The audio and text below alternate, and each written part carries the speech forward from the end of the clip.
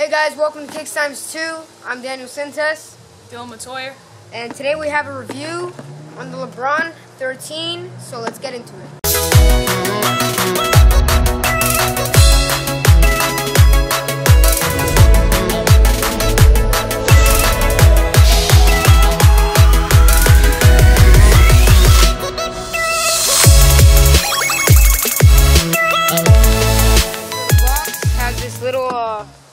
Like design here. I'm not sure what it really is, but it says LeBron James and then in Roman numerals XII, which stands for 13. and then here's this was Dylan's shoe, so he got a size 9. Um, side of the box has a Nike logo. Over here again, Roman numerals, and then the LeBron crown. So let's get into the shoe. Okay. Alright guys, so um here's the shoe. Um on the tongue we got uh, um the little penny sign for when the year he was born and then 16 which is now. And then right here uh, on the tongue we got uh, on the LeBron signature. And then we got the um, black Nike check outlined with the gold. And then back here we have um, King James logo. Then we also have another alternate logo of him dunking. And then you know it just and then on the bottom it's purple and then it also has really good traction. And then like if you look closely you can see the little um glitter. And right here um it's laced up pretty nice because like you just um it's only two then it goes under the shoe and then it comes back around.